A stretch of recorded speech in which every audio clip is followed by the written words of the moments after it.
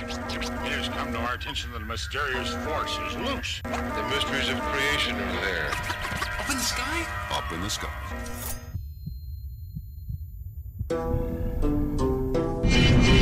It's not an easy skill to learn. I've been practicing it for many years. So what is going on everybody? It's your favorite ninja, CETS BK1 from Ninja Nation Gaming, here with another video on the new World War II Zombies DLC, The Tortured Path. In this video, I'm going to be showing you the correct way to get the Sword of Barbarossa on the survival map, Altar of Blood. The Altar of Blood is the third map which you unlock from completing the main easter egg and getting the cutscene. Now this sword is really awesome and I can't wait for you guys to get a chance to try it out for yourselves. But before we get into the video, I just want to clear something up. Won't take more than a minute. Now, a lot of people are getting confused about this easter egg and the reason is frustrating.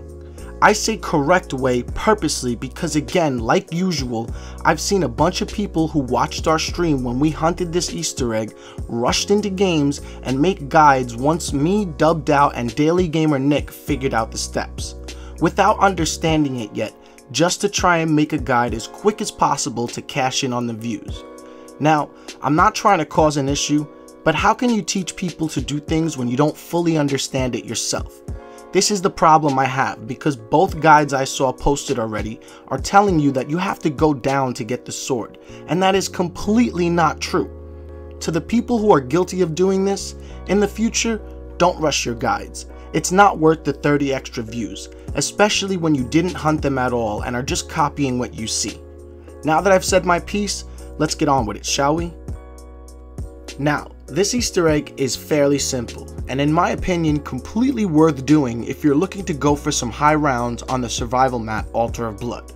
To start this easter egg, I would suggest you have about 15,000 jolts as it requires you to make a sacrifice of 1750 jolts at each of the four circular pressure pads on the map. Once you have dropped enough jolts, you will see a small spark of red lightning on the pad. That's how you know you're finished and can move on to the next one. Now once you have made your sacrifice to each of the four pads on the map, go into the throne room located in the center of the map where the traps is located. And now it's time to make the sacrifice to the three bowls you see positioned at the center of the room. As you did before, just make sure you're dropping jolts in front of the bowl far enough to where you're not picking them back up.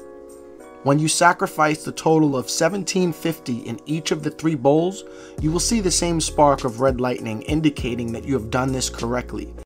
Now what you want to do is move on to the next bowl and just rinse and repeat.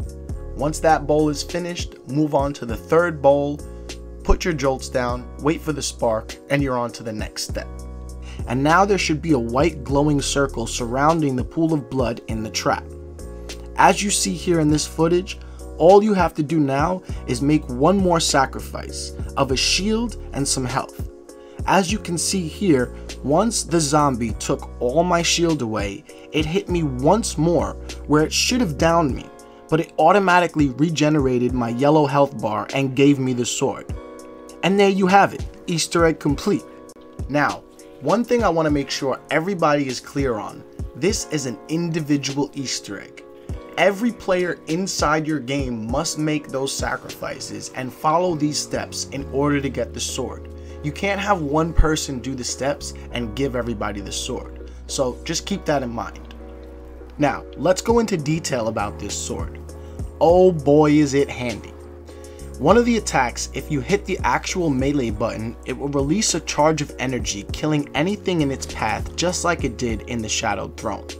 And not only does it bring zombies to their knees and make them bow down to you when you strike a zombie with the shoot button, it also comes in really handy for blocking doorways with groups of zombies who are kneeling, and very handy for stopping trains. All it takes is for you to hit one zombie with the swing, and if any zombies touch that zombie, they will also bow down. All in all, I think this sword is so OP and so much fun to use when you're having fun on these survival maps. I highly recommend you all to finish the Easter egg and unlock the maps. Have some fun with it yourselves. Anyway, I hope this video helped you all out, and I hope you have fun playing with this cool sword on the altar of blood. If you enjoyed the video, don't forget to drop a like.